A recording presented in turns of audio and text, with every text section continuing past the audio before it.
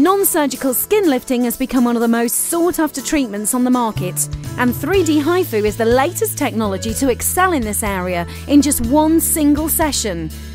3D HIFU targets individual areas, lifting brows and jowline and reducing nasolabial folds and periorbital wrinkles.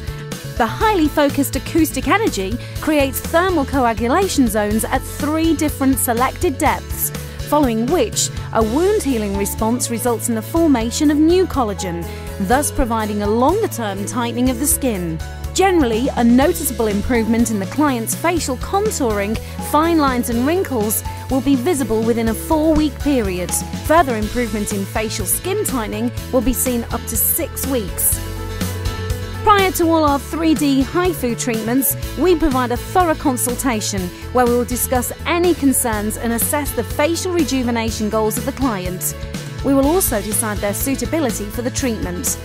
The consultation will also include a HIFU patch test taken at least 24 hours before the full treatment. This is to help eliminate any adverse reactions to the treatment. The client will then be gowned and laid down comfortably, ready for the treatment. All makeup is removed from the client prior to the treatment. The therapist will then apply an even layer of ultrasound gel on the client. After selecting the required machine settings and 3D HIFU cartridge, the therapist will then start the treatment.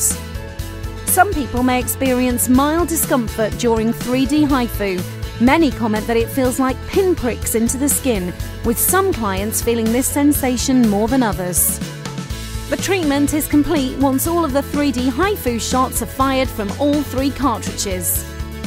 After the treatment, a time defense serum is applied to the skin in order to protect the treated area.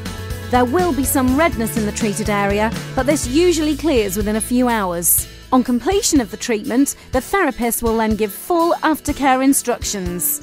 This includes advice on how to protect your skin and what to avoid the following days and weeks after having 3D HIFU.